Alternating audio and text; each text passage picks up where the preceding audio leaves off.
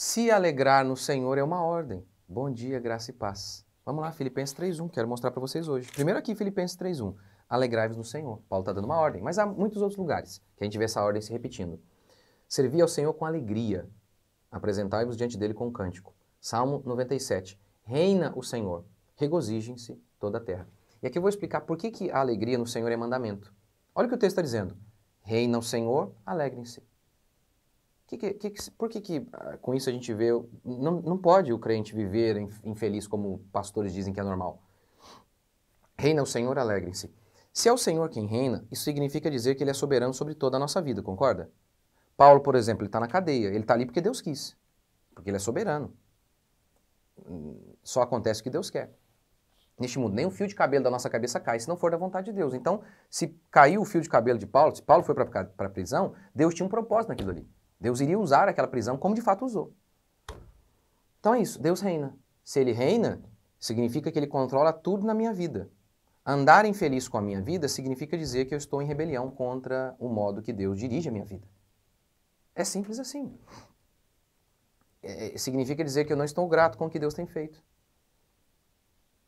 Por isso que a infelicidade, por isso que a alegria é um mandamento. Não faz sentido, tendo Deus feito tudo por nós, como que nós ficaremos infelizes? Ele não controla a sua vida? Até os sofrimentos que você enfrentou, ele, ele não controlou? Como controlou o sofrimento que José passou?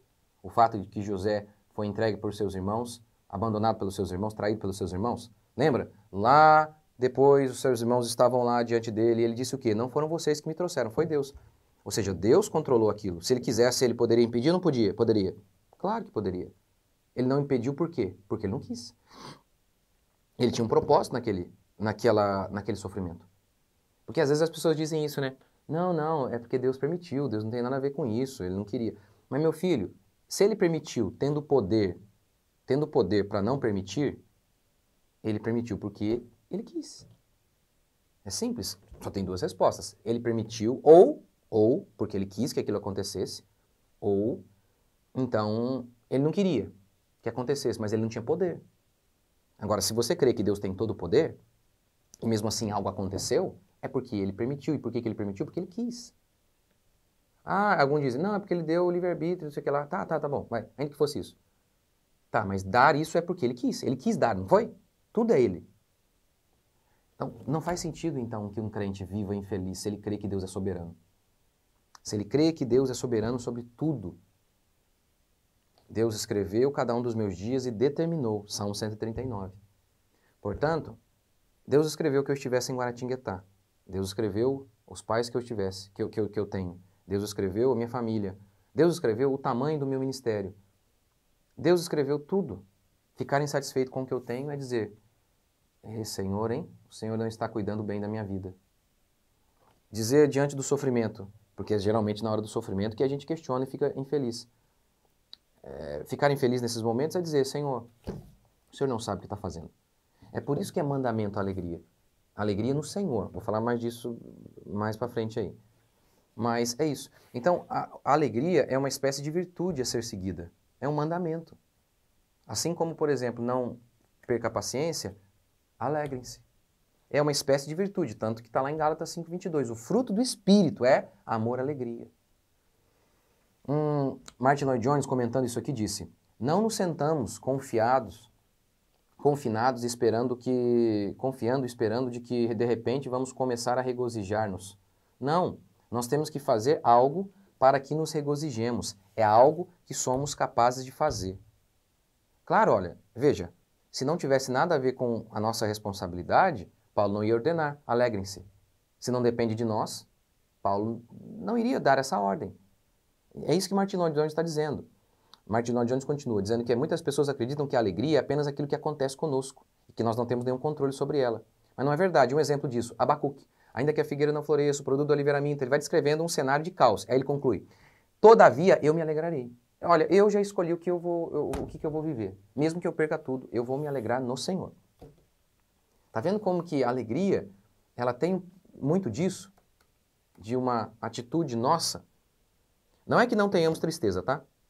Paulo aqui fala sobre Epafrodito, fala que Deus preservou Epafrodito para que Paulo não tivesse uma tristeza após a outra. Opa! Olha, olha que coisa. Então, olha que coisa. Então, Paulo está dizendo que ele tem tristeza assim. E, pelo jeito, ele estava tendo várias ali, vários momentos de tristeza. Mas Deus preservou Epafrodito para que eu não tivesse uma tristeza após a outra. Mas é nesse contexto de uma tristeza após a outra que ele diz: alegrem-se. Em meio às dificuldades que somos chamados a nos alegrar em Cristo. Ele me ama, ele está no controle. Ele é a minha razão de viver. Por isso, eu me alegro nele, por meio da fé. Até em meio às tribulações, como declara Tiago, meus irmãos, tende por motivo de toda alegria o passardes por várias provações. Obrigado até pela prova que eu estou passando. Ou seja, é o crente se alegrando em Cristo enquanto a lágrima cai muitas vezes. Na certeza de que Deus ama, de que Deus está no controle, de que todas as coisas estão debaixo do controle de Deus. Que coisa! A tristeza, ela tende a provo provocar desânimo. O coração alegre aformoseia o rosto, mas a tristeza do coração, com a tristeza de coração, o espírito se abate. Aí dá preguiça. Lembra que os discípulos dormiam de tristeza? Muitas vezes, quando estamos tristes, nós perdemos o ânimo para fazer as coisas. Quem, por exemplo, já enfrentou o luto sabe disso. Como que você não tem força, vontade de fazer nada. Nada, nada, nada.